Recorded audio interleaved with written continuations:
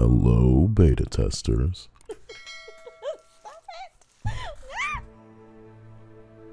In part 3 of my playthrough, after friend Elf Deek gave me a bottomless bag to rescue beasts, I jumped on the broom to go look for the hippogriffs that I saw earlier. While flying, I asked the voices, would I even be allowed to rescue a hippogriff? And the voices told me, no. But I tried it anyway, and I rescued him. What a feeling to have saved whom I wanted, to now feed and brush to my heart's content. The Hufflepuff Pokemon lover in me was happy to have him. But the Slytherin in me couldn't have felt better defying the limitations imposed on me by the voices. I named my white hippogriff Defiance. Defiance, like and subscribe. And if I'm being honest, I couldn't help but marvel.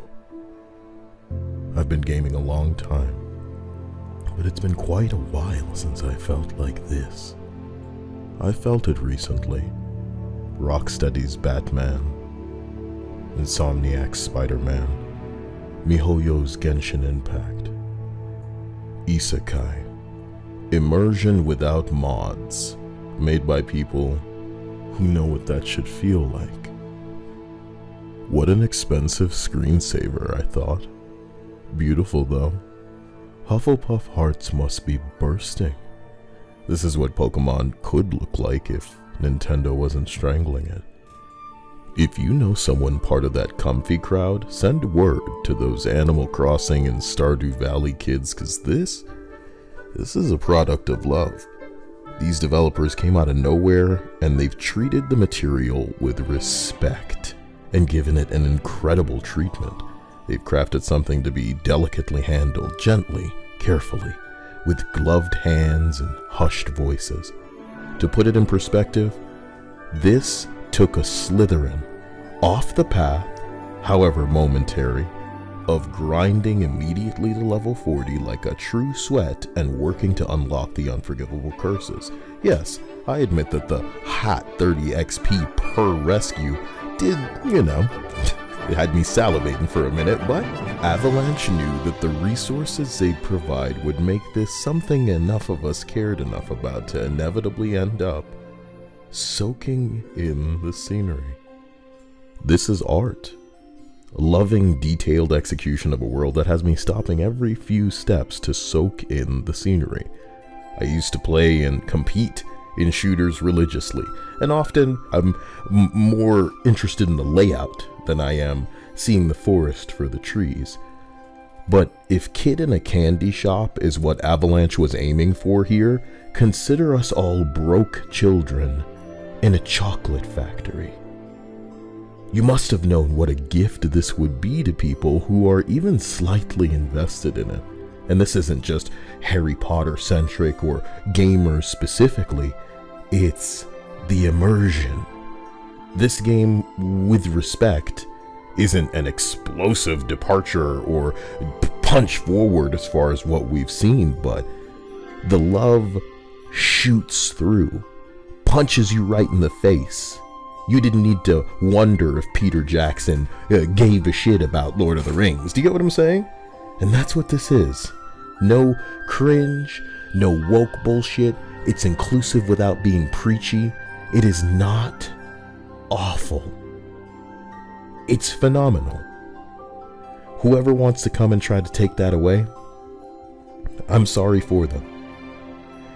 But you're going to get what's coming to you because this uh, is two animals, technically, yes.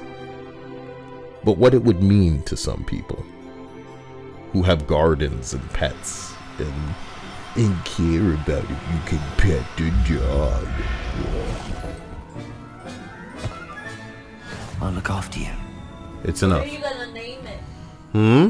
What are you gonna name it? Uh, materials. You like that? You like that name? Is No, that girl? because Is that Hufflepuff enough for you? No. I'm gonna name the I'm gonna name the cat materials or mats for short. Brush me four mats with the nu- with the with the number It's four. a dude? Huh? It's a it's a boy kitty? Yeah, you want me to name a nigga? No.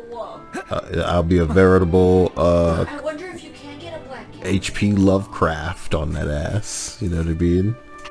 Even if it never makes it back to him, I think every fan should say thank you to Avalanche and apologize on behalf of the embarrassing, childish portions of the trans community for the bullying, the spoiling, the spreading of misinformation, just telling absolute lies that'll actually tank the score of the game that could potentially result in less sales when these people absolutely deserve love, recognition, and success for what they have crafted. And I know they did it at great risk. It would have been safer to go woke, it would have been safer to make a live service, but they didn't do that. They started somewhere where everyone wants more. That's so important. I've barely brewed 10 potions in this game, and it's because even before I got the broom, I was free to explore. So I'm nowhere. But this is something I want to take my time to get through. I think this is bigger than Elden Ring, exclusively because it's so much more accessible. No, that doesn't mean dumbed down. It, means that it caters to an audience better than that game did. For reasonable gamers, maybe every boss battle doesn't need to be a you can get instantly killed and the boss is clipping through the walls and, and garbage like this. And again, I really liked the game. I bow to the excellence and masterful execution of Elden Ring. But 99% of the people who beat the game are not going to experience like 50% of it and they don't want to because Elden Ring spends a lot of time kicking you. So even though I think it'd be a perfect game if co-op was easy and I could just pick somebody up and play through that whole thing because they halfway went with that but then they're immediately banished, this game doesn't do that. This game it welcomes you and if it ever stops to kick you, you can rest assured that when you look up, it'll have a hand extended to pick you back up. It's all in good fun. I told you! I know it's a little gay to get emotional, but uh, the Slytherin in me would like to treat you to a demonstration. Take it! Take it! Stay down! Stay down! Look at you. If you were paying attention, what you're having is an emotional reaction. It's okay, gay baby. It hurt me just as much as it hurt you. Or maybe it was funny to me, you know? It's a series of ones and zeros arranged in sequences that, that are meant to amuse our monkey minds. And amuse us it do. Like a banana. you know what I mean? But if it makes you feel any better, I can say that I like saved the game before I upset this sequence of zeros at once. and it'll depend on what you do as it pertains to liking this video and commenting on whether I did it or not below. And maybe I'll consider revealing what I did, like the video or the Nifflers next. Aren't you excited? This is just the beginning. Maybe Hogwarts Legacy 2 will give us big titties and facial hair, jiggle physics. Can't be magic without jiggle physics. Look at Tsunade in, in, in Naruto. First thing she did was say, nah, nah, these are too small. You see what I'm saying? Wowzers. Kyle likes I'll catch you in the rings. Sonic wants rings.